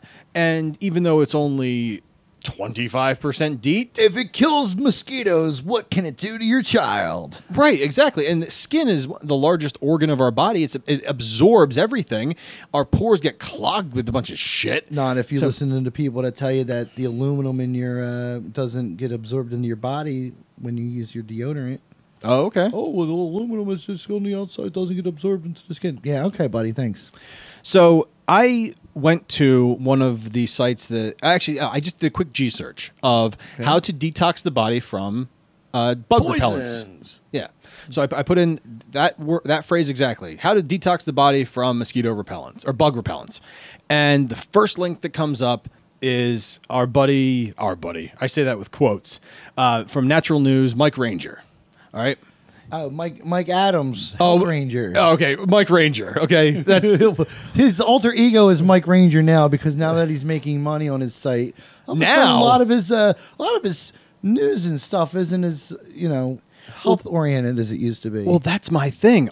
I'm seeing that a lot of when before it was a pretty good when people basically when not a whole lot of people knew about it and he was maybe hitting 500 people a day. All right, you know your ads aren't going to get much play. You start getting you know tens of thousands of people per day. Oh, you can start making money off this stuff. And a lot of the stories that I'm seeing now, unfortunately, uh, some of the products that is are recommended in these stories about how to detox the body also oh look they're right here on the side you can buy them from these separate buy them from me. right We can get you better. And just to, by way of example Same I- thing happened with Alex Jones and his oh sure site. yeah He don't break no. I don't even go to that site no more. I mean, he used to actually give you. I mean, yeah, it was conspiracy laden, but it was actually like news you weren't getting elsewhere. Now it's Absolutely. just such crap.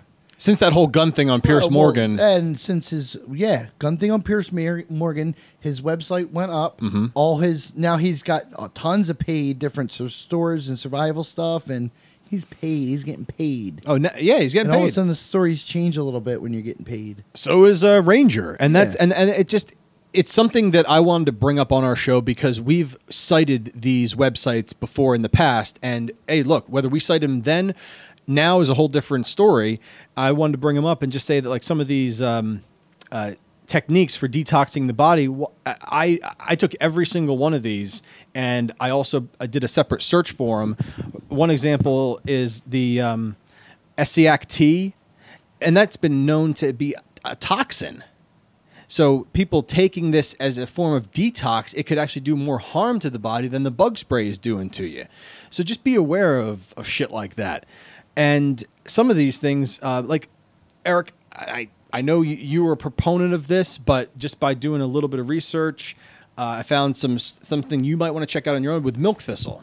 Ooh, And- milk thistle is my favorite. I know, and that a lot of milk thistle, as of late, has been laced with um, uh, mycotoxins as a result of funguses that have grown in the milk thistle. Milk thistle itself is a great source for detoxing, but when it's stored, a lot of it's it's not stored in the in uh, the correct conditions, and funguses grow, and that could really do harm to the body if taken over a prolonged period of time. So just something to look into, maybe. How about this? Um, so Lindsay switched jobs, so we had to be off health insurance for a little bit. Yeah.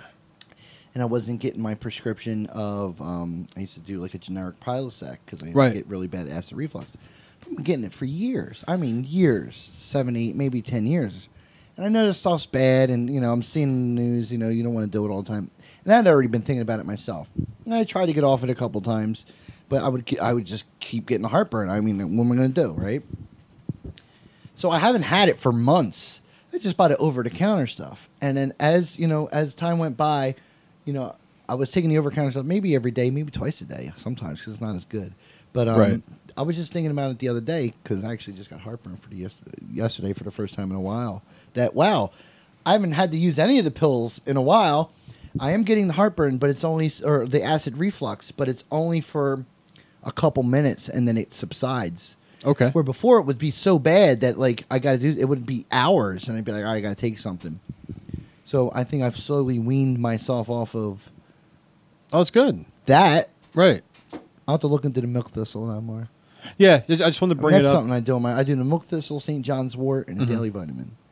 I noticed just with me, I would do the St. John's wort, and I would, um, it, not that it always happened, but I noticed an increase, um, a sore throat for me.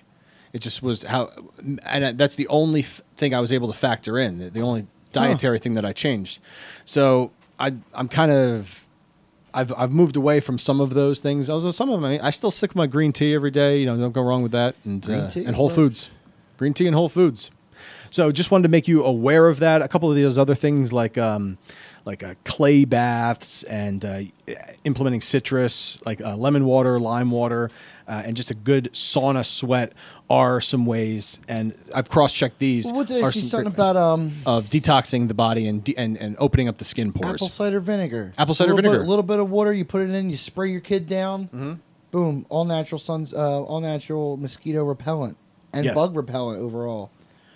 And I the mean, only it smell like vinegar, but Yeah, off okay. doesn't smell any better. no, I think it smells worse. Ugh, I'd rather you take this. sweat and it gets in your tongue and you go, yeah. Yeah. It tastes. Oh, you're tasting off. Yeah. Great.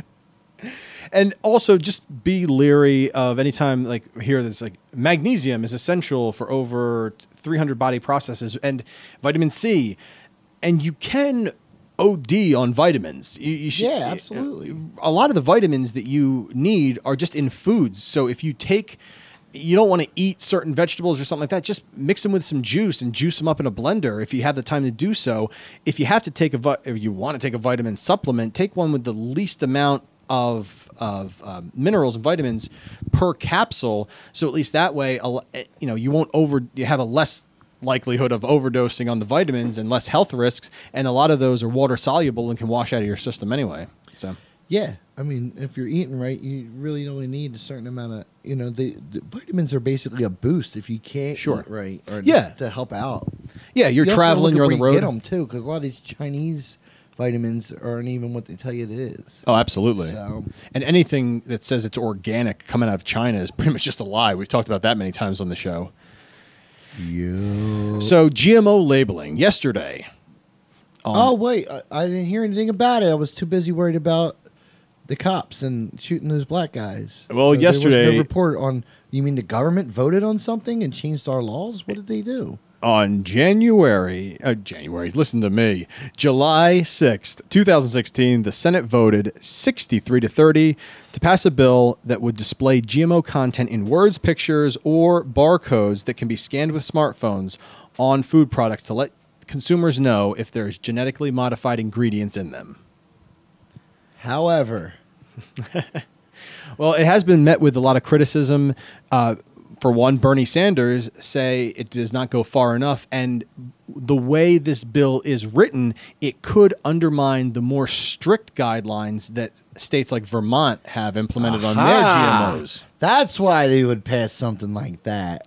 You mean if you actually read the bill, it's does exactly opposite of what it's almost telling us it's going to do. I told you I've already started to see some of these Yeah. GMO labels. Not and quite all it says opposite, is but- made with some GMO ingredients. That's all it says. It doesn't tell you what they are, how much it is, what's in there. So no, it doesn't go enough. No, it, it doesn't go enough. It's a step in the right direction. Don't get me wrong. I don't It believe is. so. It I'm is. becoming more cynical. I'm being that old cynical guy now. That's okay. I'm, I'm here to do the contrast then. It, right. It's a step in the right direction because it gets it, it shows people something, it gets them talking about it, and with the ease of information, the accessibility of information, people can look up GMOs quite easily and they can do their own research. Not say they will, but at least that little picture could get people to do their own research a bit more. And it doesn't, one of the downsides, the loopholes of the food ingredients like uh, sugars from the derived from beets, soybean oil, they can start off as genetically engineered crops, but through the process of breaking them down, they might not resemble the original uh, the original substance, so they might not be considered genetically modified after the processing is, But they're going to still tell me it's a strawberry. or at least derived from strawberries. Right. Yes, it's a strawberry preserve. but so that is a loophole. I'm not saying that this is this is great by any stretch of the imagination. It's not even good. It's just okay because again, it's getting more people talking about it. It's a small baby step in the right direction.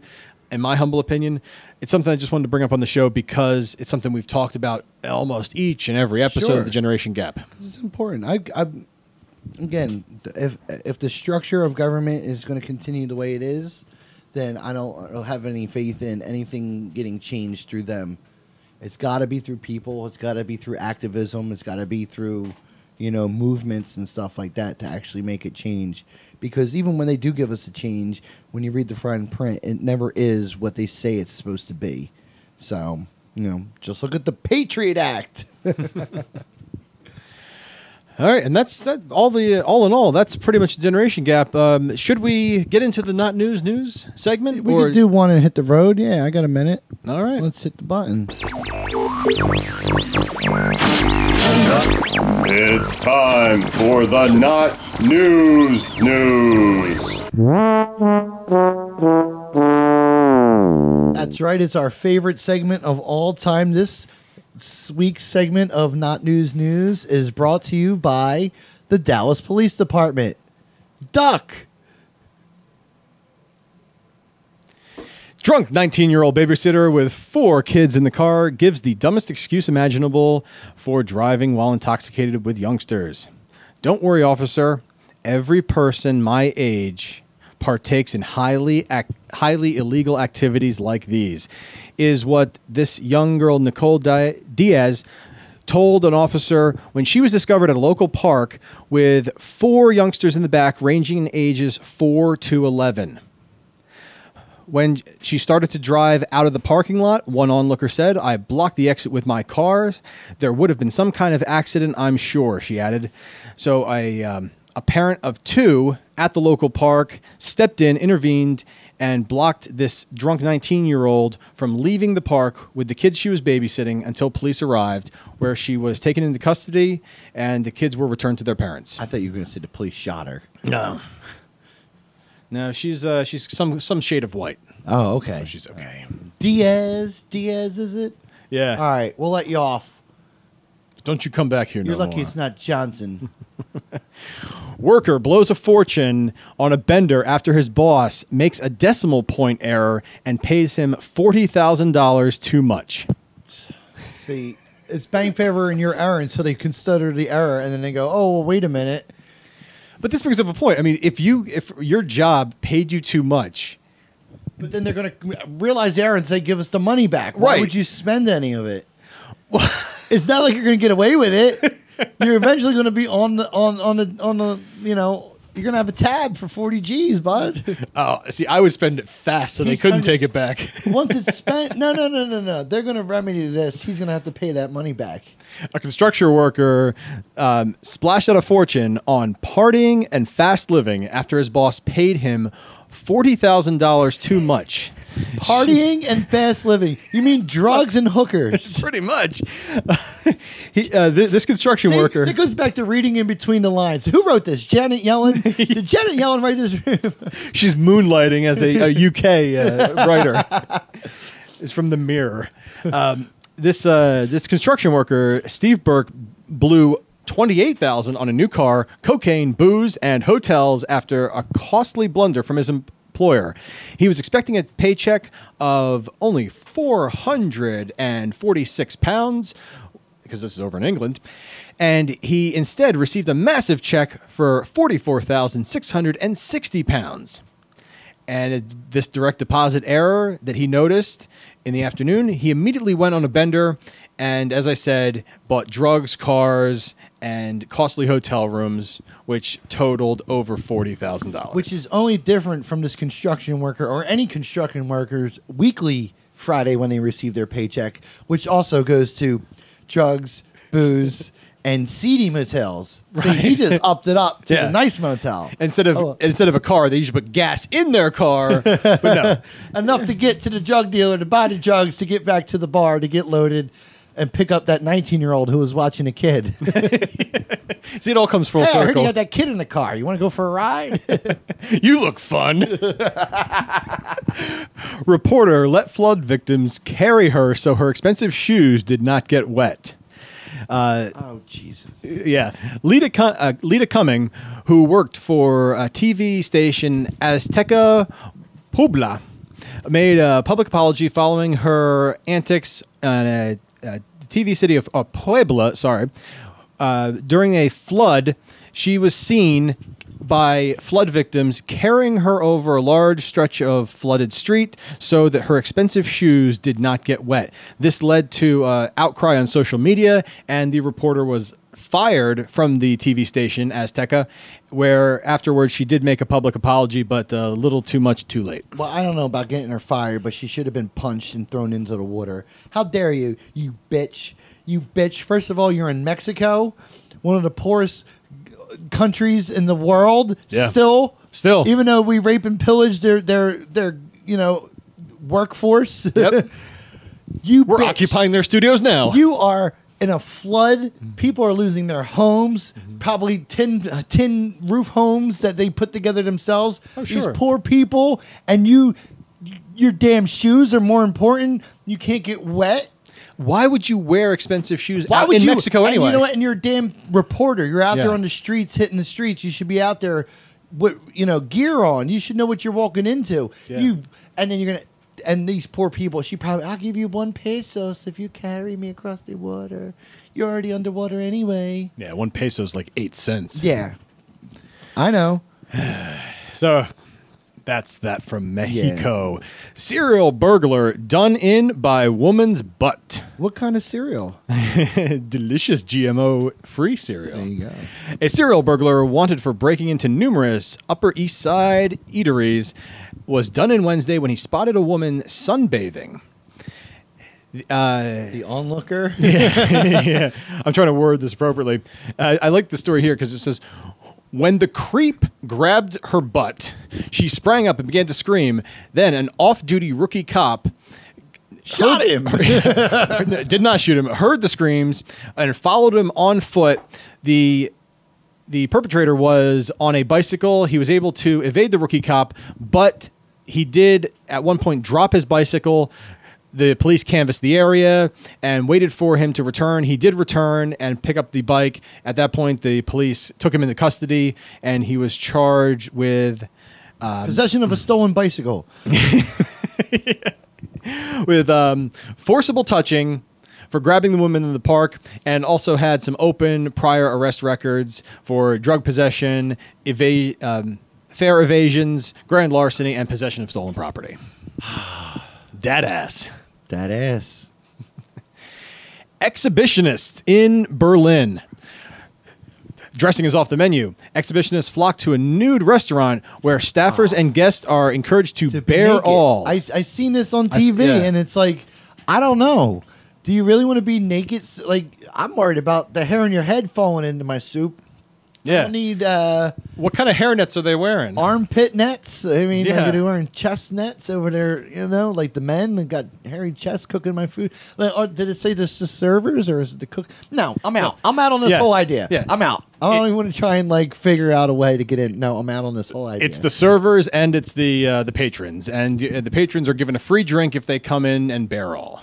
Well, I got no problem coming in and bearing all. And then uh, what about the guy that got up before me that sat in the same seat that was bearing all? Now I got to, you know what I mean? Like, Yeah.